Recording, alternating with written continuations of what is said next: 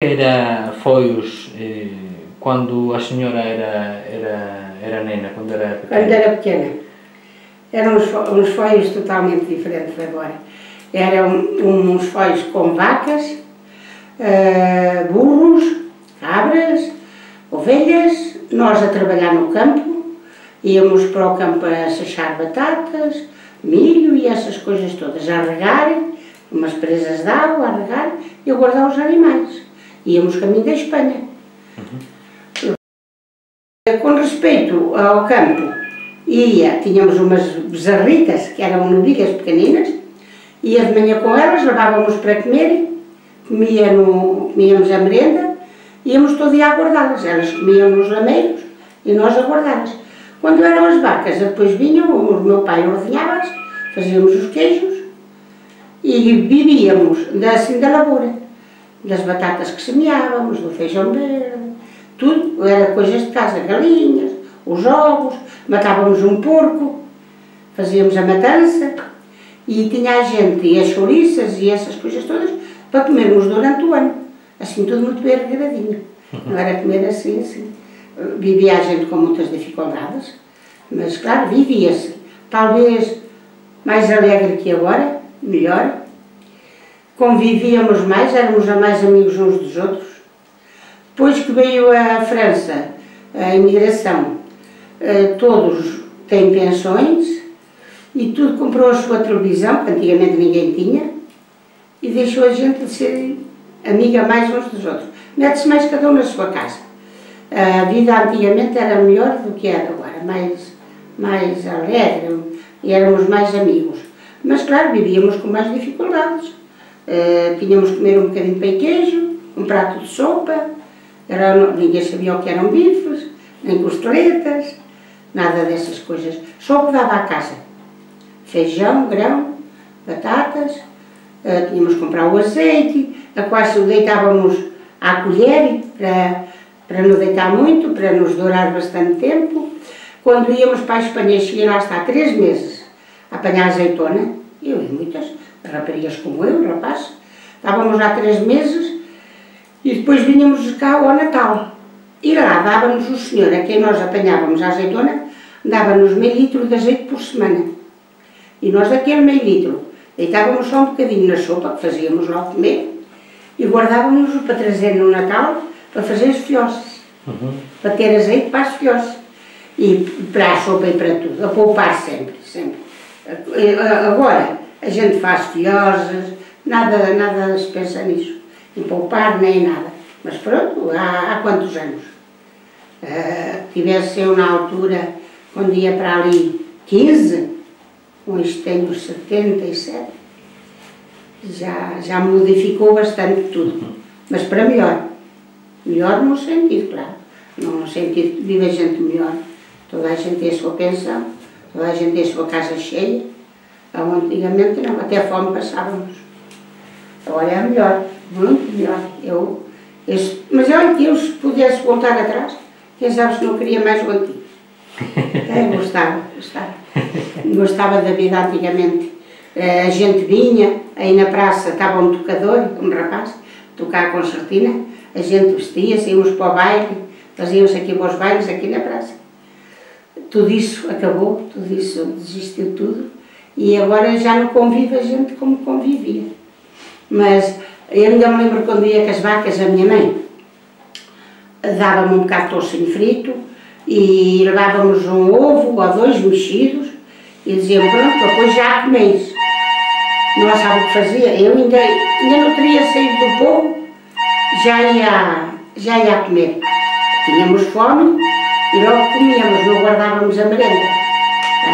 Pronto, era a miséria, antigamente era, era assim a miséria. Pão duro, cozia a minha mãe, cozia para três semanas. Três semanas. E agora. Agora come a gente o pão todos os dias. Molinho. Tudo diferente. Uhum. Muito melhor. E, e como era como era a vida na, na escola? Na escola? E com os, com os meninos e... Ainda me lembro. Eu andei na escola, era aqui no povo a escola, uh, a gente queria-se uns com os outros. Batíamos-nos, batíamos batíamos, já me lembro de nos batermos bem. E depois a minha mãe, eu estava na escola, mais o meu irmão e a minha irmã, ainda era pequenitos eles. A, a primeira fui eu. Mas depois a minha mãe queria ir para o campo a trabalhar, a chuchar batatas. E não tinha a quem deixar os meus dois irmãos mais novos, que ainda era mais pequeno. E tirava-me a mim da escola para os agarrar, para agarrar os meus irmãos, eu ficava com eles. E então não fiz, não estudei. Onde o meu irmão estudou, foi professor. A minha irmã também já não estudou, por causa disso. E, e eu já fiz a quarta classe de casada. Já tinha os dois filhos quando eu a fiz, a quarta classe. Podia ser uma professora, que também não era tonta, mas a miséria fez isto. Com que a minha mãe me tirasse da escola, não era tirar, não tirou da escola. Tirava-me hoje, tirava-me depois da manhã, e assim, e me acompanhava os outros. Depois já fiz a quarta classe de adulta, já de casada, já tinha dois filhos. Mas na escola, claro, era fome, havia uma que levava duas carcaças, que era a que vivia melhor, e eu já me lembro de lhe tirar uma, de lhe tirar a carcaça para comer.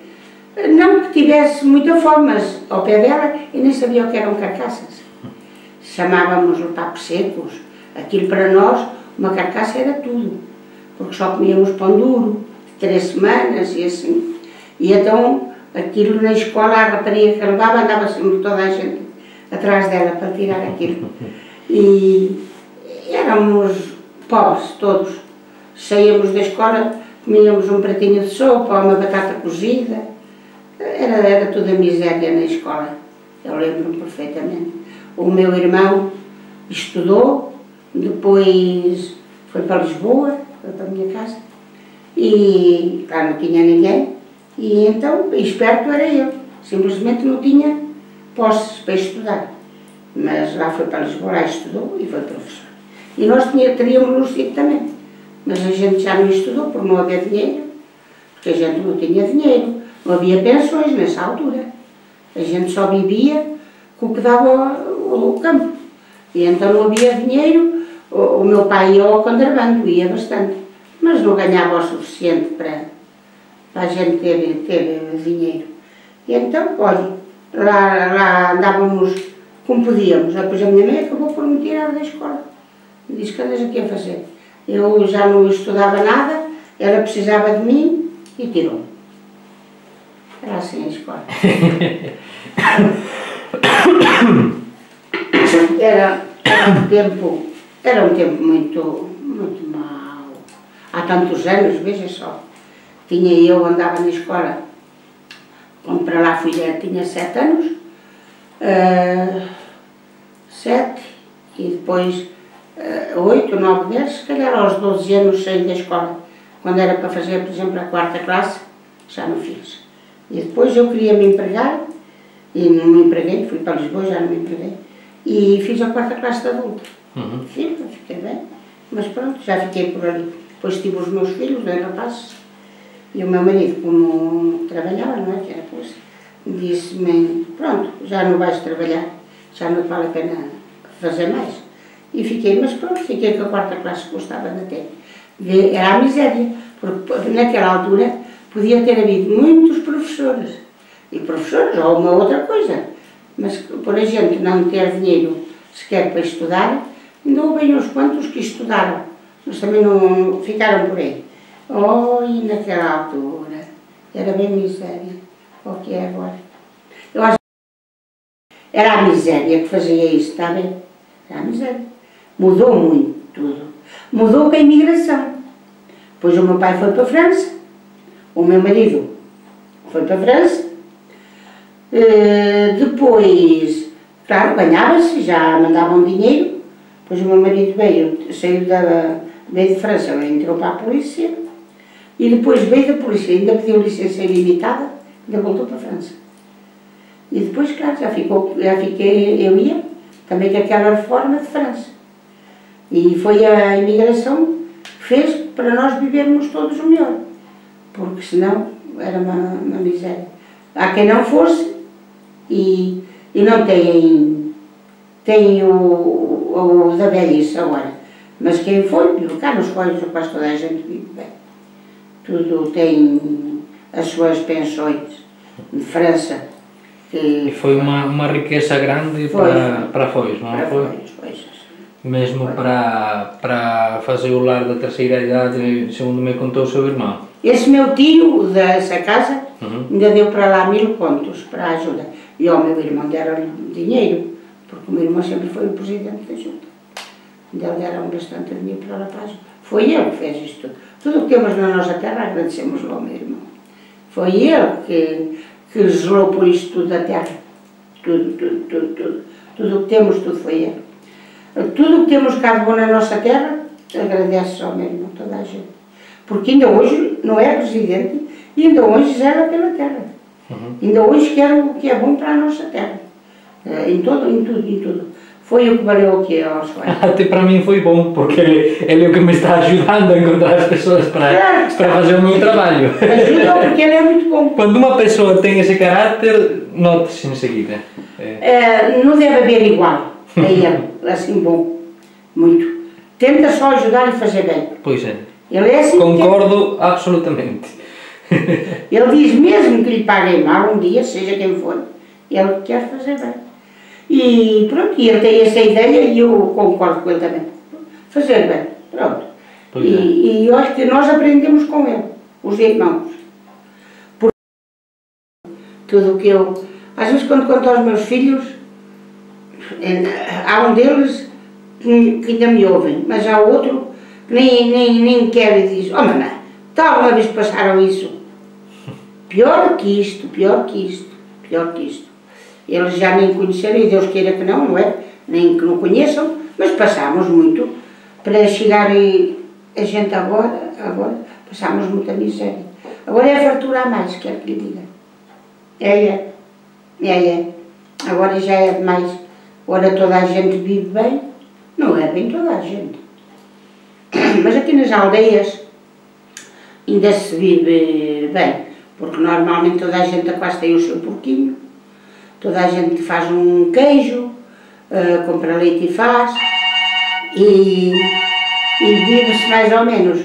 Mas é aqui na nossa terra, aqui nesta terra ainda se vive bem. Há, há outras que já não, só, já vai acabando tudo. Mas aqui ainda, ainda, mesmo os filhos, a gente ensina, a mim dizem, mamãe faça, mamãe vai ver, quando vem leva os carros cheios, de tudo, tudo leva. Eles querem, eles gostam, não é? Homem, Então, ou não, levam, levam bons presuntos, levam boas chouriças, levam bons queijos, azeitona, até azeitona. Ah, veio aí uma espanhola outro dia, trouxe muita azeitona, e eu retalhei-a, pula na água, e vem de, de onde? Das ilhas? daqui de Valverde e Ah, de Valverde. E das Ilhas. Uhum. Retalhei-a, está tá boa, pus muito sal para não se pôr morta, está dura.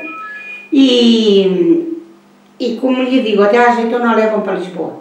A azeitona, pimentos curtidos, essas coisinhas todas que dá à casa. E que lá não tem. E que eles não, Não tem essa qualidade. Não.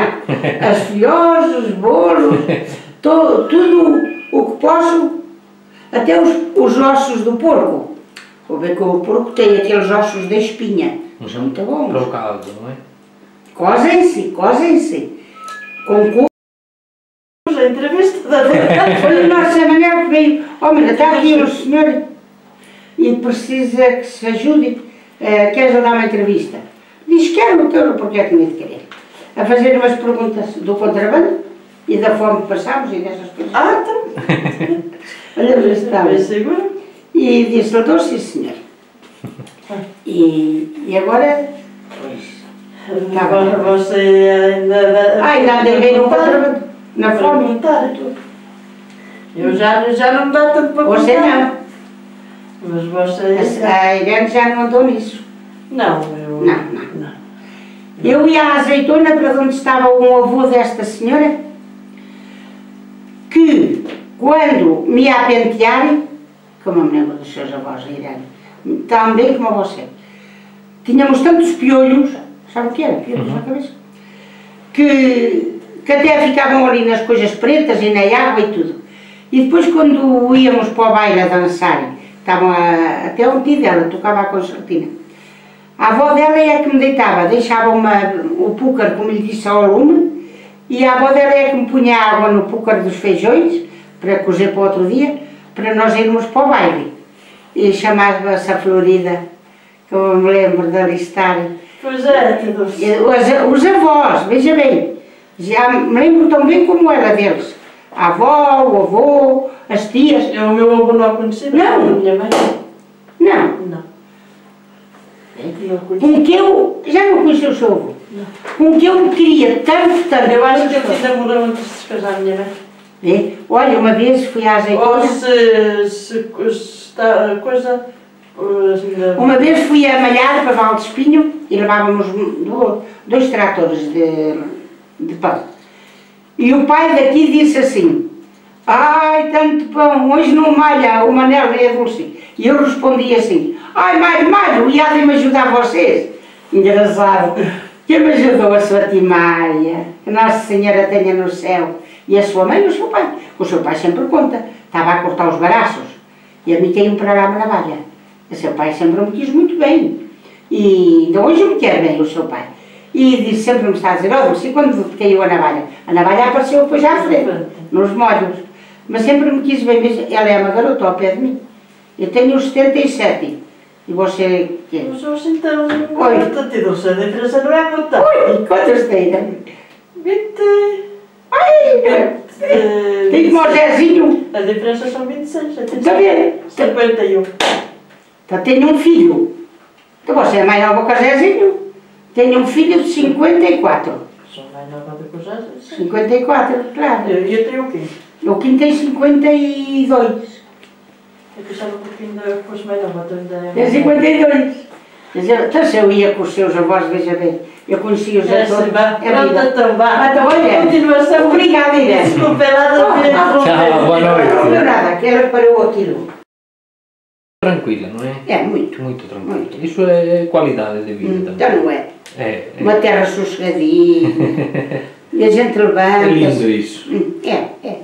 A gente normalmente dá-se toda bem uns com os outros.